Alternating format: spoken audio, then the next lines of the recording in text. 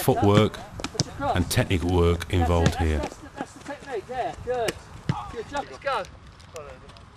Yes. Okay, Dennis. Yes. Thanks, mate. That's it. Enough. Touch, touch. Yes.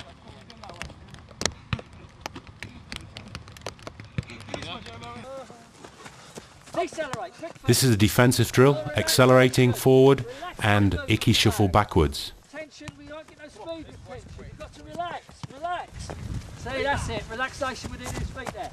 Let's go. The quicker and more times you get your feet on the ground, the more control you have. Push it out.